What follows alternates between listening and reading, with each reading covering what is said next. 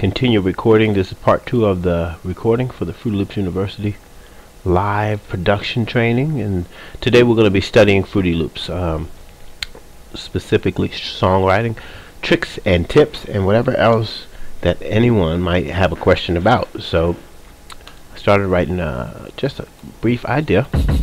Alright, and what I did is just pick three basic drums. I used the FPC and I also explained how the FPC functions with two banks, 16 pads, and virtually unlimited layering capability. So you can make, you can put 20 kicks on top of each other, 20 snares, and you can create your own sound.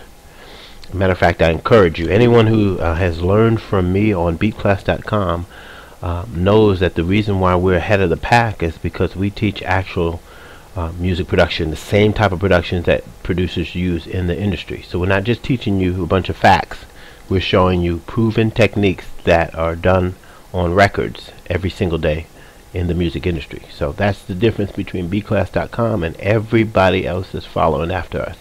Alright? Alright, so now we got our kicks.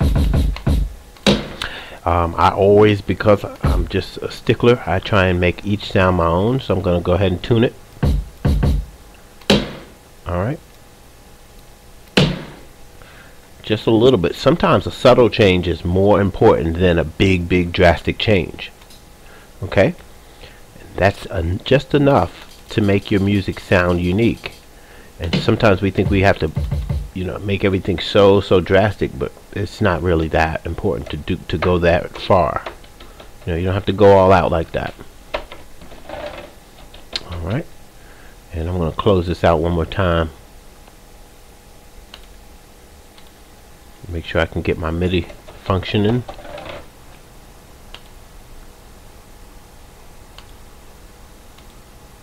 This is actually pretty good because if you can see here got a generic MIDI controller but th there's no input showing up.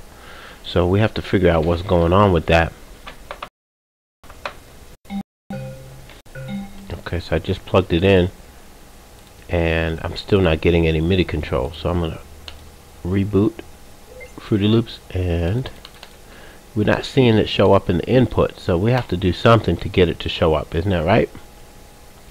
Usually what will happen is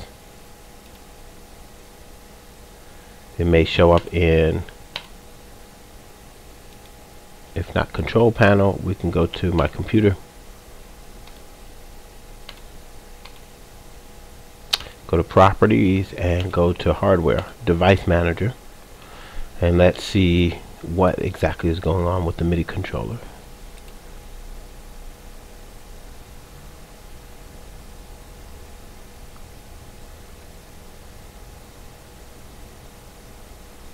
and I don't see it.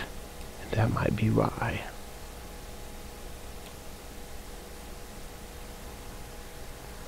Alright.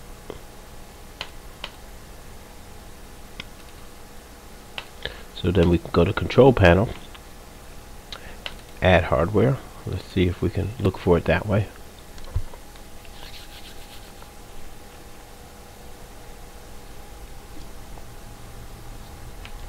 and the last resort is I'll do a reboot on the computer and we'll take it from there we'll try that alright I have it already connected I'm telling you right now it's not gonna find it plug and play monitor generic, generic volume and I don't see it